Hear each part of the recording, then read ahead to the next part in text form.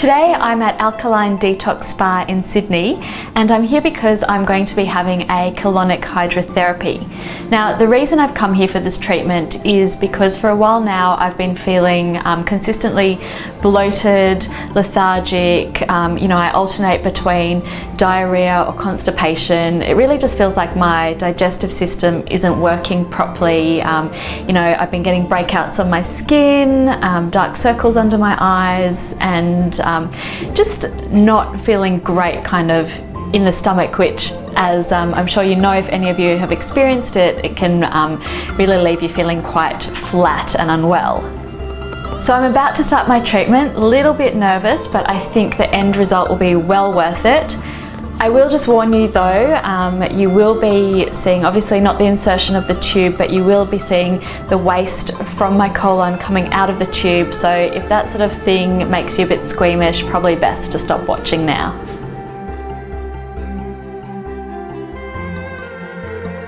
So what happens during colonic hydrotherapy is a tube will be inserted into my bottom and filtered water will gently be released into my colon.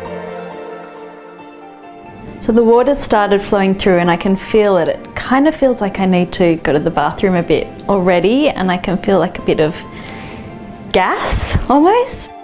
The therapist will keep releasing this water, um, obviously taking note on the machine of the pressures in my stomach and listening to me as to how I feel.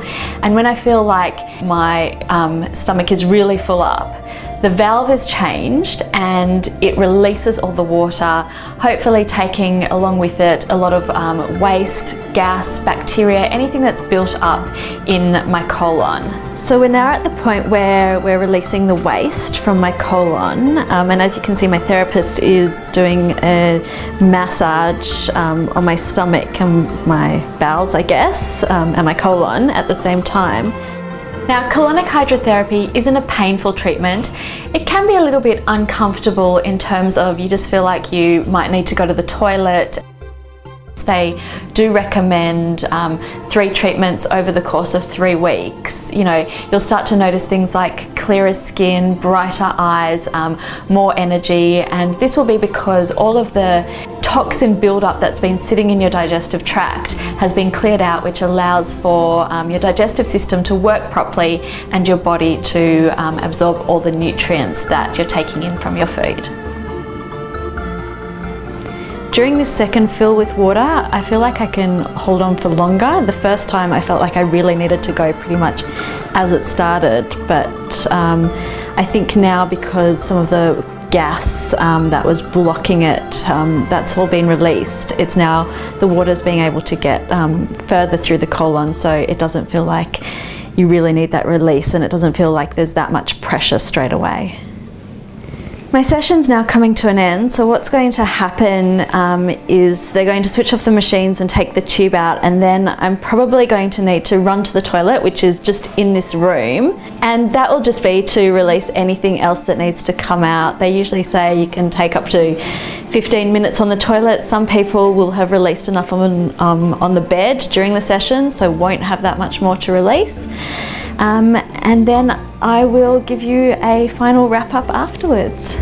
Well, I've made it through my very first colonic hydrotherapy session. There was absolutely no pain involved. Um, as I did mention on the bed, there was a little bit of discomfort, just that feeling of really needing to go to the bathroom, and the pressure kind of builds, but then as you release, it just goes. Um, afterwards now, I feel a whole lot lighter. Um, I mean, my stomach isn't miraculously flat or anything, but I just don't feel that general heaviness that I've been carrying around on my gut for the last couple of years. So I already feel a lot um, lighter and freer. I'm looking very forward to seeing how my next couple of sessions go.